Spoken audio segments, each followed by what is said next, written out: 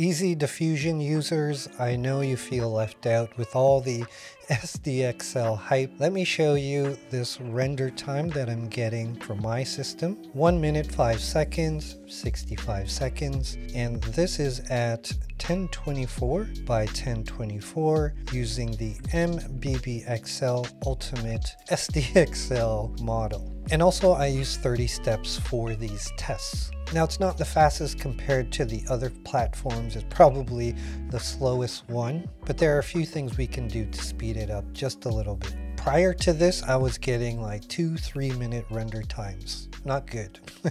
so first and foremost, go to the bottom, toggle off show live preview. That adds a few seconds to your generation times. Then you want to go into your settings, scroll down a little bit towards GPU memory usage and put this on low. Even though I have a 3060 Ti with 8 gigabytes of VRAM, SDXL is very VRAM hungry. If you have a 12 gigabyte card, you could probably get away with balanced. And make sure you have on beta and diffusers just toggle it on here. Click on save after you've done those changes. So you'll see at the top corner, I'm on version 3.0.2.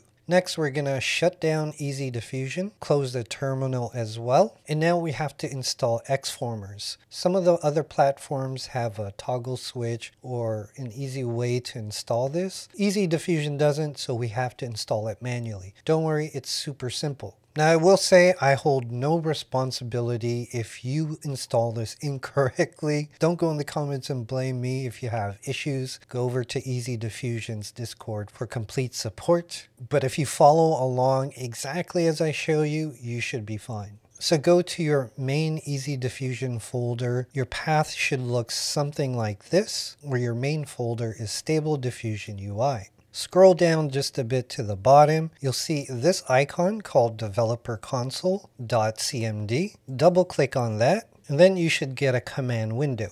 On this GitHub page, we want to go to step number two and just highlight this line here and press Control C to copy it. Or you can right click and copy it that way. And then in the command window, you want to paste that line in there. All you have to do is hit enter Next, you want to go to line 3 here and highlight all of this information up until where it says CU118. Copy that, paste it into the command window here and hit enter. Now, your results might look a little different from mine because I've already done it. See how it says here already satisfied? Yours may say something else. And that's all you have to do. Now, if you run into issues and you have some errors, follow these instructions instead to uninstall everything you've done, okay?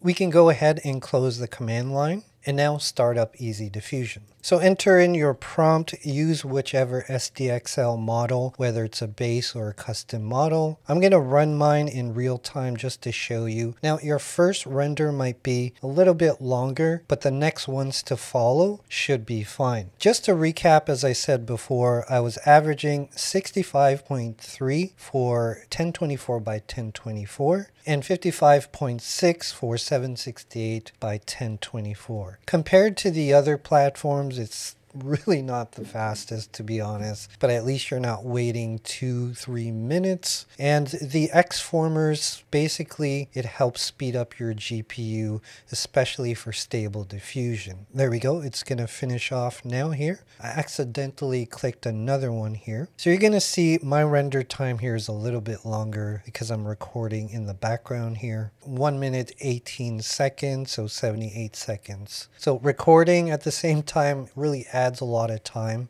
If you're using a custom model from Civit AI, you don't really need the refiner. However, if you want to try it out, it only works through image to image. Let me render an image using the base model.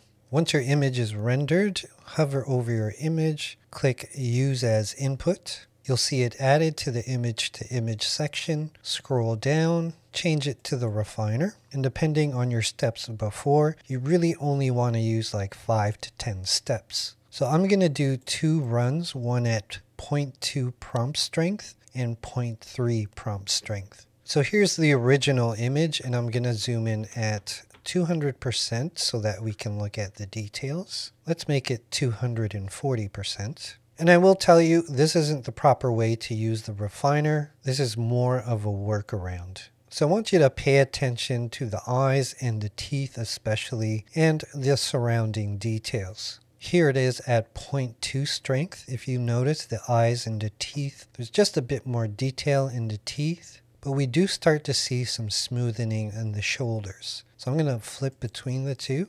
There's the base model.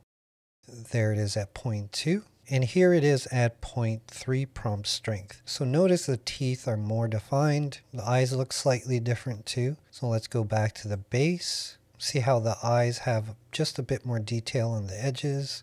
At 0.3 we lose that, but we gain more definition in the teeth. As I said, this isn't the proper way to use the refiner. Typically you need some noise on the last steps when using the refiner. So it's really up to you if you want to use it. Personally, I don't use the refiner, and if I do want to, I'll use Comfy UI for that.